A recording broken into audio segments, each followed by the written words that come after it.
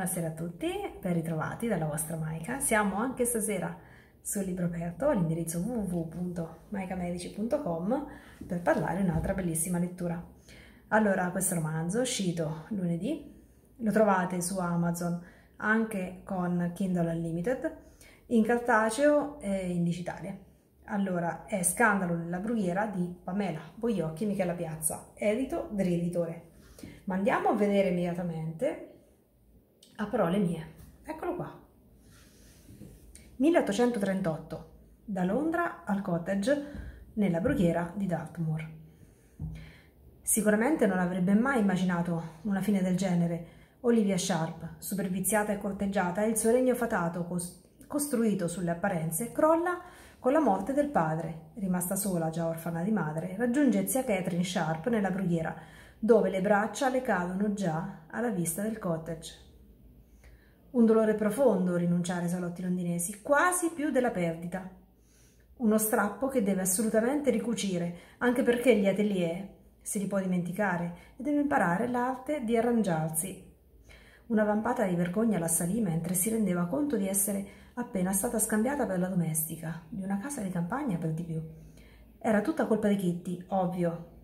A causa della sua fissazione per le gite in campagna indossava un abito con l'orlo macchiato, Portava un grembiule e aveva farina nei capelli soltanto perché aveva deciso di assecondare l'assurdità di preparare dei dolci con i mirtilli che avevano raccolto. Quelle braccia cadute e sepolte dopo la magra figura sembrano tornare al loro posto in previsione di un piano dei più diabolici per riacquistare titolo, l'agio tanto meritato, e ritorno nell'amata Londra. In fin dei conti si tratta di un affare come un altro, perché non tentare?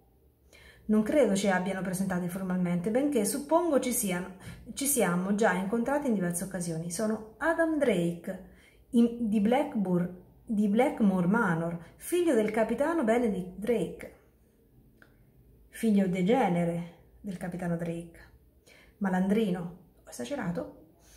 Inaffidabile, seduttore incallito, fa sfoggio di quella frase che gli riempie la bocca. Non sto cercando una moglie, ma solo un modo di ammazzare il tempo in questa brughiera desolata e noiosa. E approfitta per circuire la preda più facile solo, che non aveva messo in conto di rimanere ossessionato da. Per quanto possa essere al sicuro una giovane donna con quelle labbra incantevoli, mi stupisce che ogni uomo di Londra non abbia già provato a baciarvi. Io non ho resistito io non ho desiderato fare altro sin dal momento in cui vi ho vista. Una fissazione che porta guai e ad una soluzione riparatrice. Eventi che mutano in sincrono con sentimenti e segreti, misteri, timori, turbamenti, l'inganno che rimette ancora una volta tutto in discussione. In quale momento di tutta di quella storia assurda aveva smesso di desiderare il nome e la posizione di re che aveva iniziato a volere lui. Entrambi hanno paura che quel passato che li ha segnati possa minare tutto ciò che resta da vivere insieme. L'eternità in, bil- l'eternità in bilico su un dannato vecchio monile. Chissà se la forza dell'amore riuscirà a liberarli dai fantasmi. Andiamo con la seconda parte. Al contrario, sono io che vi devo tutto. Mi avete restituito le radici che avevo perso da tanto e questo mi ha permesso di aprire di nuovo il mio cuore.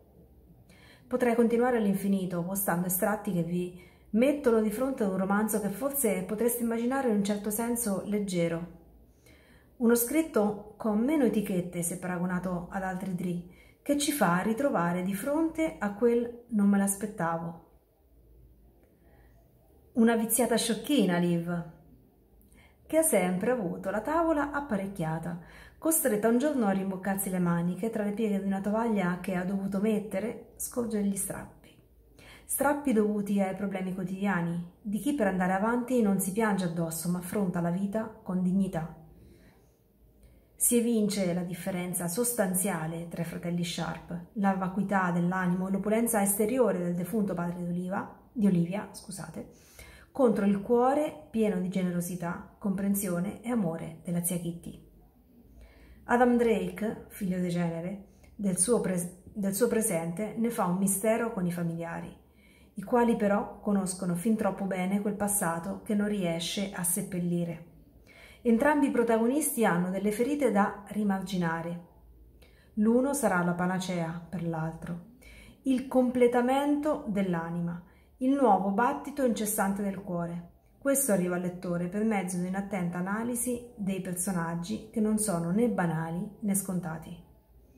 Esulano dai canoni del classico storico. La prova ne è il ruolo di Adam, che si scoprirà non essere il solito arricchito e fannullone.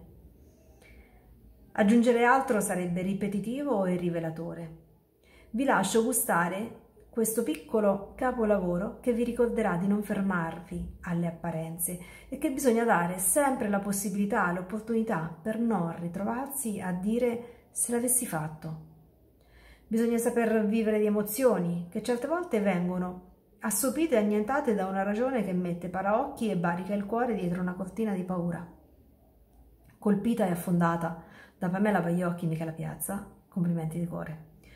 Allora, eh, la, mm, io adoro queste due autrici perché vabbè, hanno una scrittura che a parte che eh, sono bravissime, le abbiamo viste anche l'altra sera in diretta sul, sul mio gruppo, eh, sono impressionanti, scrivono insieme eh, mantenendo lo stesso stile, non, non, si riesce a capire dove termina una e inizia l'altra, non si avvalgono no, dei, dei POV, quindi magari no, la scelta più ovvia quando si scrive a quattro mani è che l'una prende eh, un POV, eh, che ne so, uno al maschile e uno al femminile, di modo che poi così spicca proprio il profilo maschile e quello femminile.